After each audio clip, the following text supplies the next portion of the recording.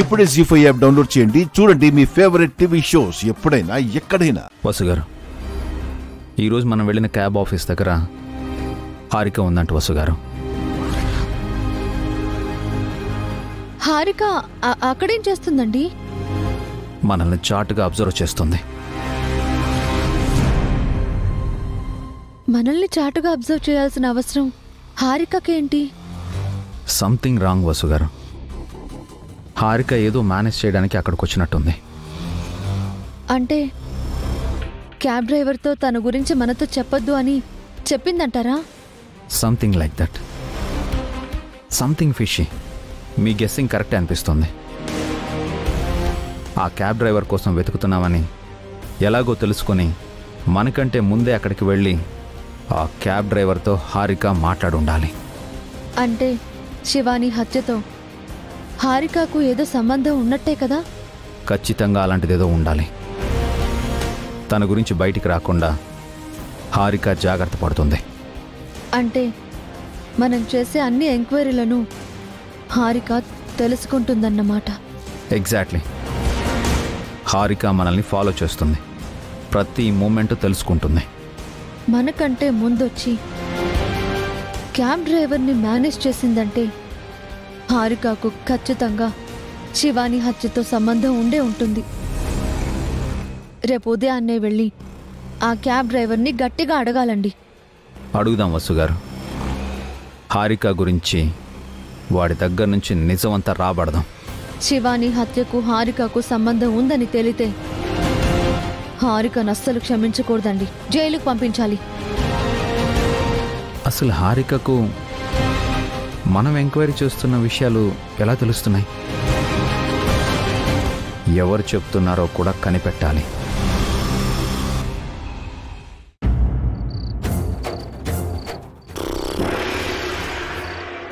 Suma my dear Suma.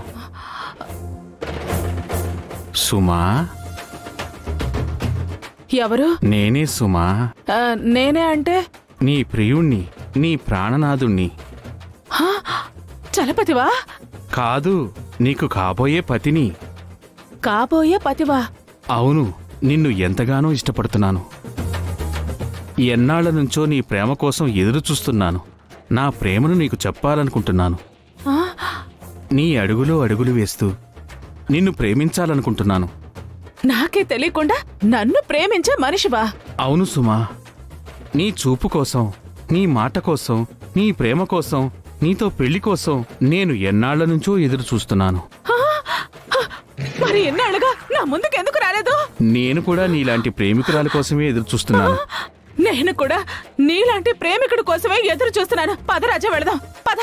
ఈ లోకాన్ని వదిలేసి దూరంగా వెళ్ళిపోదాం పద. ఎక్కడికి? పెళ్ళి చేసుకోవడానికి. ఇప్పుడా? ఇప్పుడే. వెంటనే మనం పెళ్ళి చేసుకుందాం. పద పద. అంటే మంచి ముహూర్తం అది చూడాలి కదా సుమా. అవసరం లేదు. మన మనసులు కలిసిన వేళే మంచి ముహూర్తం. ఇప్పటికే ఆలస్యమైపోయింది. ఇక ఎదురు చూట నా వల్ల కాదు. ఈ క్షణమే మన పెళ్ళి జరిగిపోవాలి. ఏ గుడి ఖాళీగా ఉంటే ఆ గుళ్ళకెళ్ళి పెళ్ళి చేసుకుందాం. పదనాదా పద పదనాదా అంటే ఇప్పటికిప్పుడు పెళ్ళంటే? ఇక నువ్వు నాకు ఏం చెప్పినా నేను వినను. ఇప్పటికే ఎంతో మంది నా జీవితంలోకి వచ్చారు పోయారు. నేను నేను వదులుకోలేను. నేను వదిలిపెట్టను. పెట్టను. నిన్ను నేను వదిలిపెట్టను. నేను వదిలిపెట్టను. నిన్ను నేను వదిలిపెట్టను. నిన్ను నేను వదిలిపెట్టను. నిన్ను నేను వదిలిపెట్టను. వదిలిపెట్టను. వదిలిపెట్టను. ఇది కళ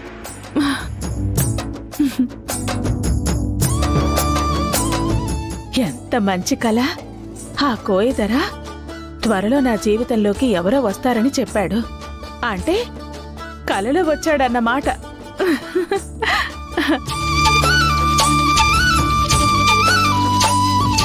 తెల్లవారుజామున నాలుగైంది.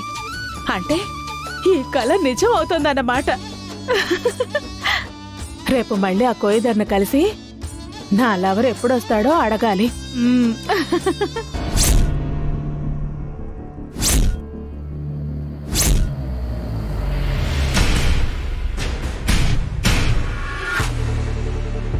నా పనయ్యాక నేను నిన్ను వదిలేస్తాను. అప్పటి వరకు నువ్వు బతికి ఉండాలి. తిను.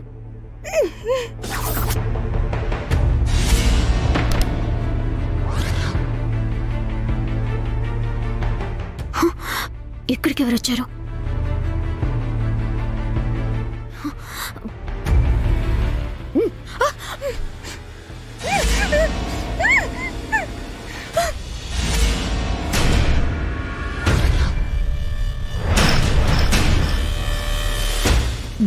ఇలా వచ్చారా?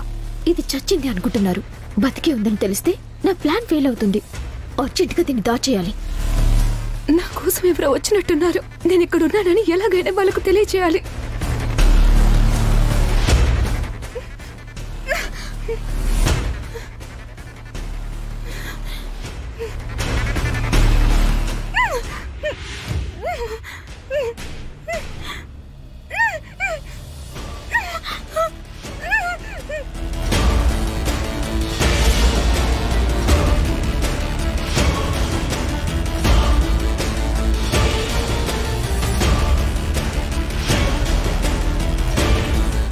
అభి మావయ్య వసు అత్తయ్య వచ్చారు.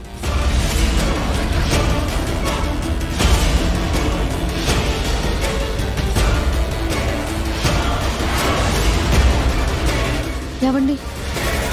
ప్లేస్ చూసారా? చాలా తేడాగా ఉంది. అవును వసు గారు.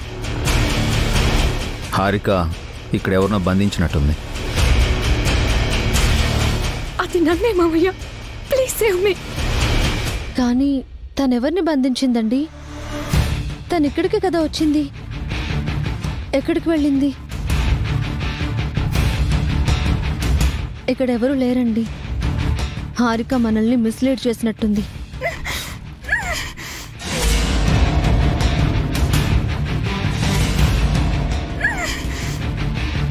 అటు చూద్దాం రండి.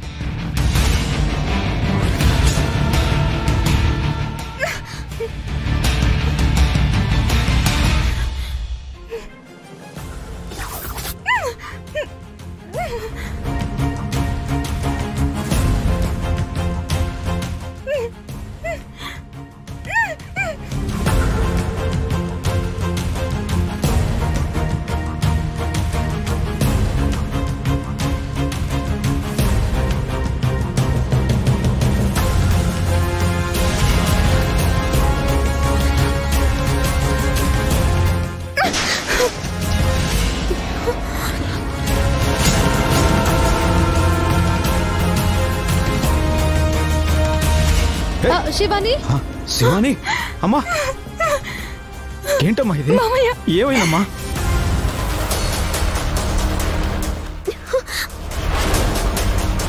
నువ్వు బతికే ఉన్నావా? అవును మావయ్య నాలుగు రోజుల నుంచి తనెవరో నన్ను ఇక్కడే బంధించింది.